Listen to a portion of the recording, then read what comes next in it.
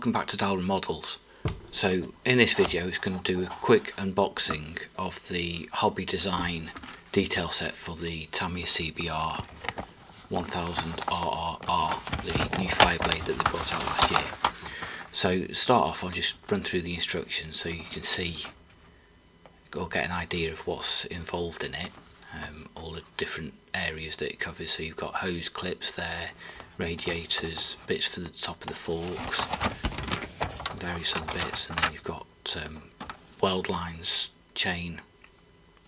So quite comprehensive in what it covers. So let's have a look at the actual parts. So I'll start off with the photo etch that's in there. So we've got a nice little name plate. There's some details on it as to the bike itself and then various other parts so I think this has got parts for the forks for the top of the forks and a few other bits and pieces. So I'll cover in more detail as I go through the kit what each area uses. Um, ABS sensors some linkage for I think the rear brake or something like that in there. Loads of rivet parts. As you can see there some hex nuts. Bits for the springs for the exhaust, although there aren't any springs in the kit. Um, radiator mesh, which is nice and fine.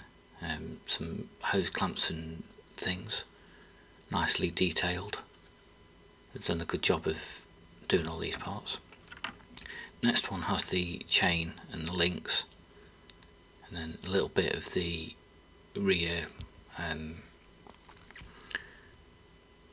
where the nut goes for the rear wheel.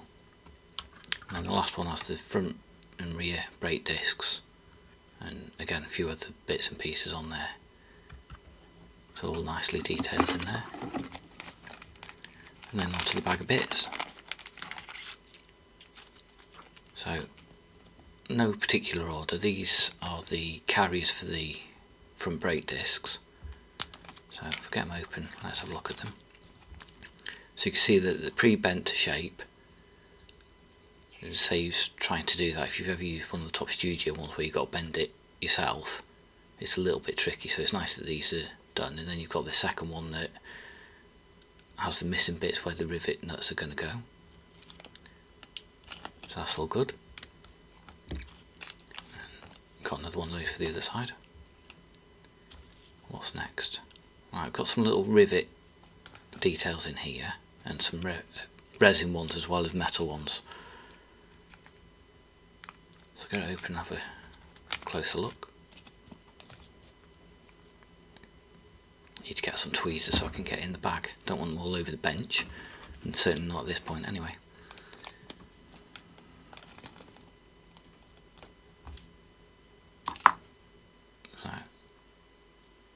So I'm struggling, struggling to get it to focus fully because they're so small. I'm just trying to adjust it a little bit. It's not really bringing up the detail on there.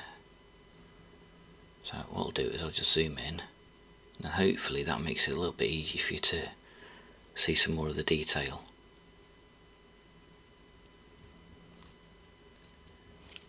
And because I fiddled with the focus it's now going to take everything else out of focus.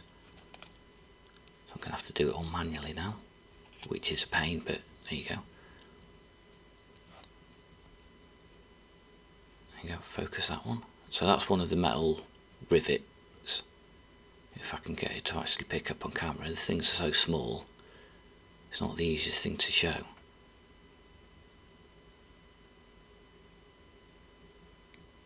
There it goes. So that's one of them put everything back in the bag so it doesn't get lost.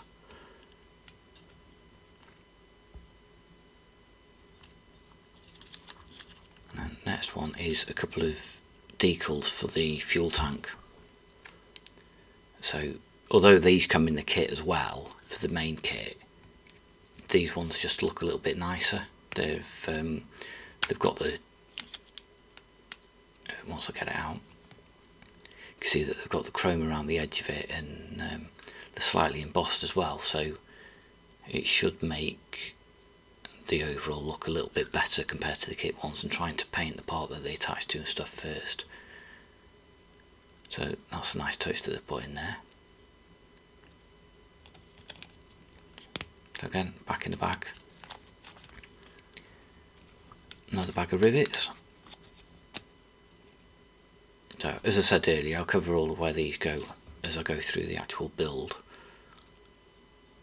So you can see this one's got quite a much bigger head on it than the first one. Sort of more sort of triangular shape. Which I'm assuming is going to be for like body fitments or something like that. Where I think the kit has decals for those.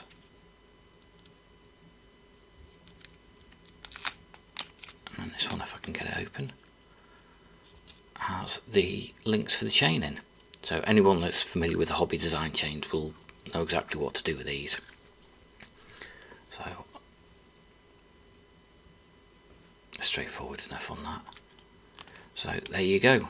That's what's in the set.